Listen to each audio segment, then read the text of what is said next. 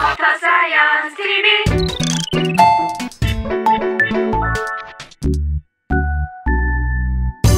촉촉해지는 water science. 모두들 말하죠.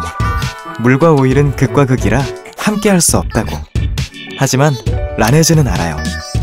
전혀 다른 이 둘이 만나면 놀라운 일이 펼쳐진다는 사실. water science라 가능한 이야기. 한번 들어볼래요? 우선 특별한 물이 필요해요. hydro ion mineral water. 작아지고 작아지고 아주 작아진 입자로 피부에 쑥 들어가죠. 여기에 라네즈만의 과학을 더할게요. 시계꽃 씨앗에서 추출한 천연 오일을 효능 그대로 저온 blending하면 수분이 달아나지 않게 지켜주는 moisture loop 탄생. 자, 오늘의 하이라이트. 이 둘을 섞을 거예요. 라네즈만의 비율로. 이 크리스탈 방울 입자. 이게 피부에 닿으면 보이세요? moisture loop 기술이 담긴 오일이 수분은 쏙 밀어넣고